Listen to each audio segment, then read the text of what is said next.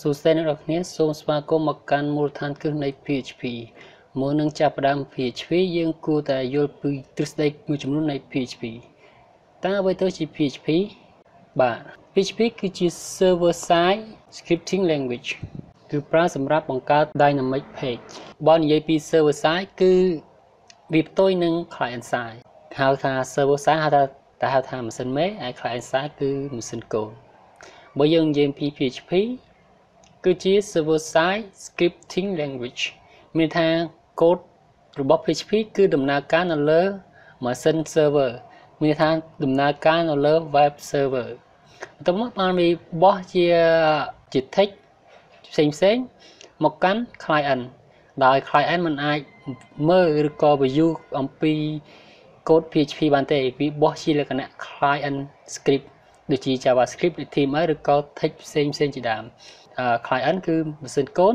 អាចនិយាយបានថាជាកុំព្យូទ័ររបស់យើងឬក៏ជា browser ដែលយើងបើក website អ្វីមួយដែលវា request ទៅប៉ុន្តែអ្វីដែលយើងទទួលបានគឺជាលក្ខណៈ script client script ឬក៏ text តែប៉ុណ្ណោះអូខេ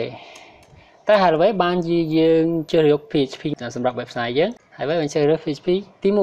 1 PHP គឺ open source និង free download មានថា open source មានថា free source code សម្រាប់យើងដើម្បីរៀនដើម្បីអភិវឌ្ឍ develop និងដើម្បីកែប្រែយើងអាចកែប្រែអាចអាចធ្វើឲ្យ PHP លក្ខណៈល្អប្រសើរជាងមុនហើយយើងណាមួយទៀតគឺវា free download មានន័យថាយើងអាច download software PHP នេះមកប្រើប្រាស់ដោយមិនចាប់បាត់បង់លុយអ្វីទាំងអស់គឺលក្ខណៈ free ហើយ PHP មួយទៀតនេះ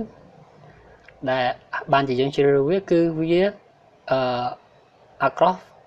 platform មានថាវាអាច run នៅលើ Linux server Windows server ឬក៏ Mac server ជាដើមវាអត់បញ្ហាទេហើយ PHP គឺបង្កើតឡើងសម្រាប់ web development សម្រាប់ website ហើយវាជាលក្ខណៈ object oriented ហើយករណីដែលយើងជ្រើសរើស PHP មួយទៀតនោះគឺវាមានអឺ មិនថាមាន forum មានថា active community developer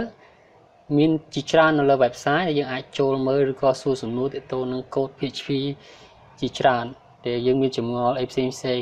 យើងក៏អាចយើងអាចចូលទៅកាន់ website PHP តែយើងអាចមើល document នៅលើ PHP ជាដើម document វាគឺមានលក្ខណៈល្អប្រសើរហើយងាយស្រួលមើល